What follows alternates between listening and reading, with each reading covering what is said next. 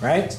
So, I mean, let's look at, so again, the piecewise function j of x is basically just saying two or more functions, okay? So let's graph absolute value of x. You guys should know that's the v-shaped graph. Why? Because we spent a whole bunch of time in Algebra 2 talking about it, and it's been posted on the board on that wall, I think, since like the beginning of the year. So you guys should remember absolute value of x. You should also know how to type it into your calculator just to verify, just, and if you don't, come and say me. But that's the absolute value function. Now, the piecewise function has constraints.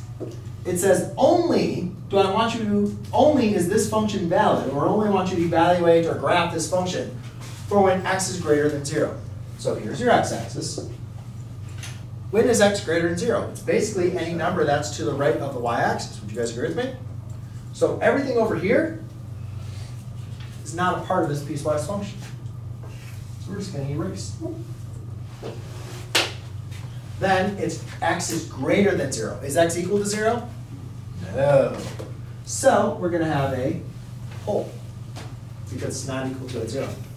Then we go to the next function, x plus one. Guys, we've been graphing lines since algebra one, right? We should remember how to graph a line. The y-intercept of this line is one. Then up one over one, up one over one, or down one to the left one.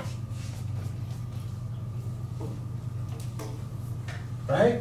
But it says, I only want you to evaluate or graph this function for values of x that are less than zero. So do we need to do anything to the right of the y-axis? No. So let's erase that. And it is equal to zero, so that's going to be a closed dot. So that's what your piecewise function looks like. Okay? Now, as far as our piecewise function, um, now we just now we're going to evaluate our limits. So our limit as zero from the left. So as we're getting close to zero, from the left we're approaching what? One.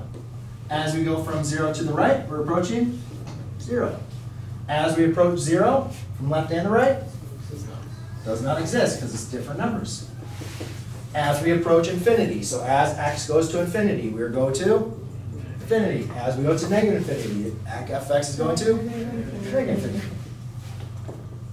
So really the hard thing is remembering how to do those piecewise functions, right? And if you have a piecewise function, take your graphing calculator and just do the functions in, you know, independently of one another. Okay? Um, all right, guys. That is uh,